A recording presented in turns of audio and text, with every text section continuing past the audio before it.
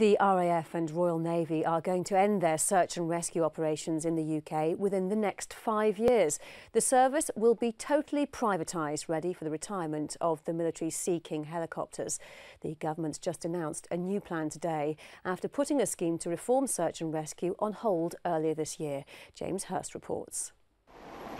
Search and rescue crews from a number of bases, including RAF Valley, have been in action this weekend off the coast of Wales. A Russian cargo vessel broke in two during storms. One sailor is known to have died, but two others have been pulled safely from the water. And throughout today, the search has continued for five more missing men. Prince William was just one of the service personnel involved in the operation. It is truly life saving work. One of the survivors who's actually been here in the building uh, told us that uh, there was what he described as an enormous wave that rolled the ship. She broke her back and obviously with such a catastrophic failure she sank very quickly.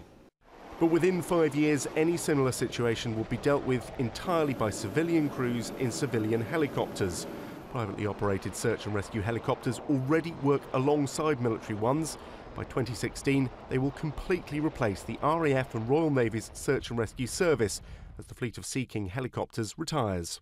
It's a Ministry of Defence decision, you know, that they're going to pull back from, from crewing. I understand why they're doing that. The commitments they have around the world, particularly in Afghanistan, are really heavy at the moment.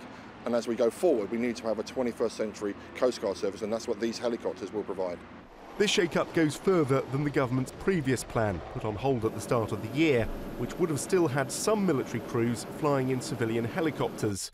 Today, Labour says people will want reassurance that a wholly civilian search and rescue service won't compromise safety. The private sector, I've been running four of my bases for the last 30 years, under the previous administration, under the previous Conservative administration. And everybody knows that the, the capacity, the range, the lift, and the reliability of those helicopters is much better than the Sea Kings. RAF and Royal Navy bases may still host the new civilian search and rescue teams, with the exception of RAF Boulmer. The MOD says it's likely military search and rescue aircrew serving at the time of handover will be redeployed elsewhere. The contract's expected to be signed in just over a year's time, giving up to three more years for the new service to get fully up and running.